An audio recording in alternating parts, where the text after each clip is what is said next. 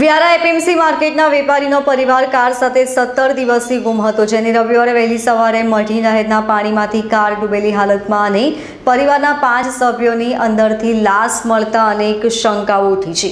પોલીસે મોબાઈલનું લોકેશન મહેસાણાનું આવ્યું હોવાનું તપાસમાં બહાર આવ્યું હતું. ત્યારબાદ અઢારમા દિવસે આખું પરિવાર મૃત હાલતમાં મળતા પરિવારની આત્મહત્યા કે અકસ્માત જેવા અનેક પ્રશ્નો ઉઠ્યા છે. પરિવારના મૃતદેહ સાથે કાર મળવાની ઘટના અત્યંત રહસ્યમય બની છે.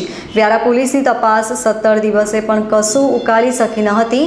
ત્યારે હવે પછીની ઘટનાની તપાસ મહત્વની બની રહેશે.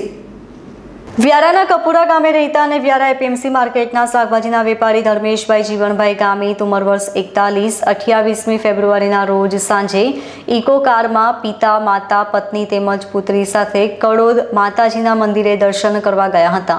બાદમાં આખો પરિવાર કાર સાથે ગુમ થઈ ગયો હતો. તમામ સભ્યોના મોબાઈલ પણ સ્વિચ ઓફ થઈ ગયા હતા. કોઈ સંપર્ક ન થતાં આખરે વેપારીના સસરા મનહરભાઈ ગામિત ત્રીજી માર્ચના રોજ દીકરાના સાસરે કપુરા ગામે તપાસ કરવા ગયા હતા. જ્યાં પાડોશીઓને પણ જાણ ન હોવાનું જણાવતા શોધખોળ શરૂ થઈ હતી.